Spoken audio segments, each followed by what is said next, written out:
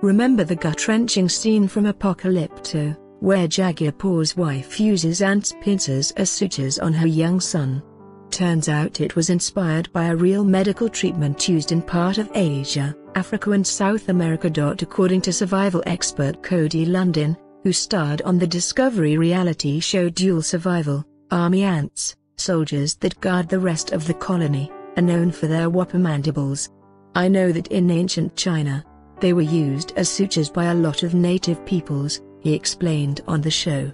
Take it on both sides of your wound and it's going to clamp down on your flesh, and when you pinch off the body, it will hold that wound shut.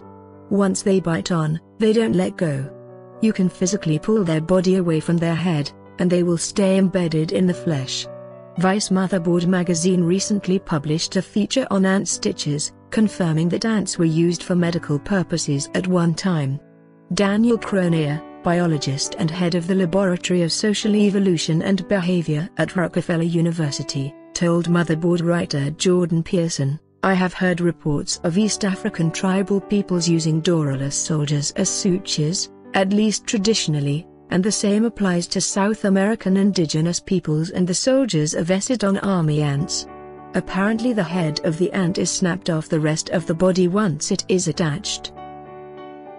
I'm not aware of the drawbacks or risks, other than the obvious that you might be concerned about hygienic standards, he added. The late biologist Eugene Willis Gudger did indeed confirm that ant mandibles were used as natural sutures, in fact, they're even mentioned in medical literature found in Hindu texts dating back to approximately 1000 BC. Gudger also found that the practice had spread to Asia Minor and Europe.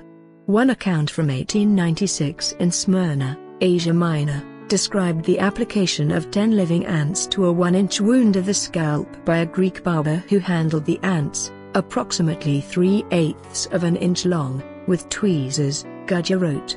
Once their jaws were firmly affixed to the wound he snipped off the bodies with scissors. The retained mandibles were removed after three days, when favorable healing was established. Entomologist Grzegorz Buczkowski, from the Urban Ecology Laboratory, however, isn't convinced. As an entomologist, I can tell you that the ant mandibles will pinch the skin and could technically help close a wound, he told Jordan.